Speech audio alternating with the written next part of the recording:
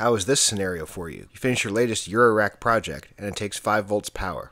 Then you look at your Eurorack power supply and it only provides positive and negative 12 volt power. So what do you do?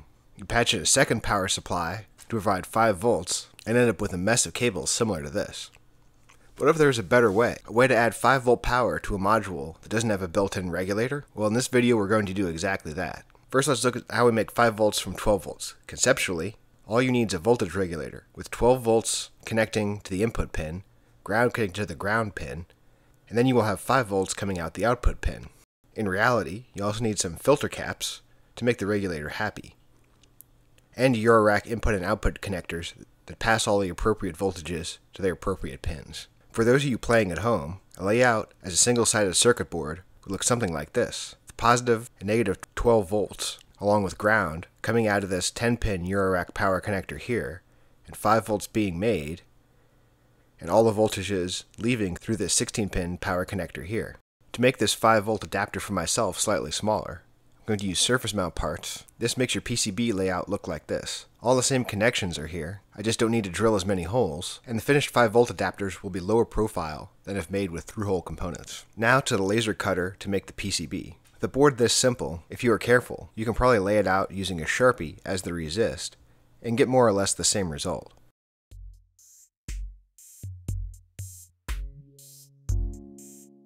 Now to cut out the block of boards, off the larger PCB blank.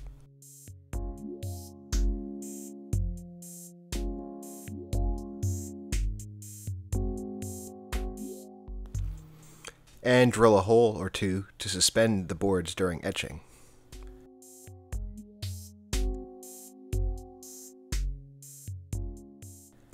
Now with the tarnish removed, into the ferric chloride they go.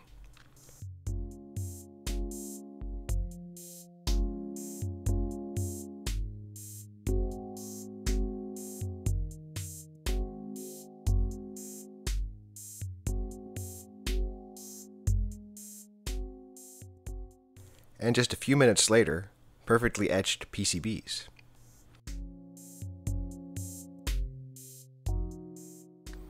Quick dip in some paint thinner, and the resist is gone. Now to drill out all the holes. Drilling is easier when the boards are all one big block and easier to hold on to.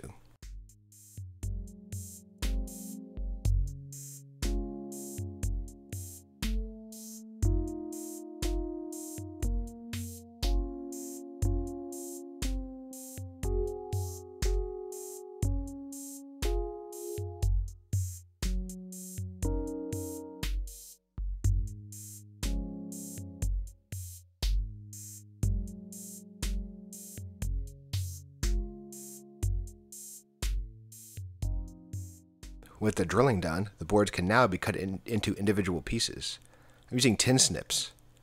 On thin material like this, the snips leave a nice edge, and it doesn't make a lot of dust like the table saw.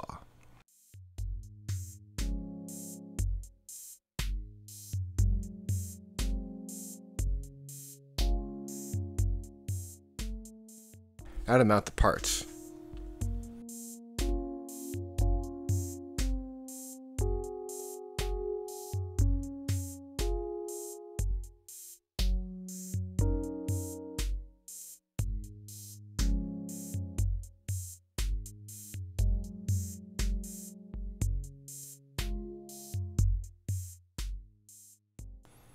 And the jump I need to make for the ground connection.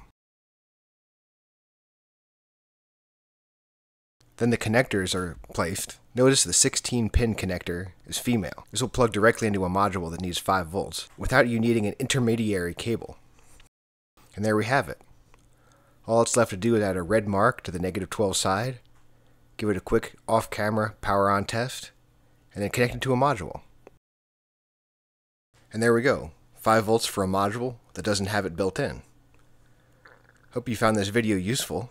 Thanks for watching, and I'll see you next time.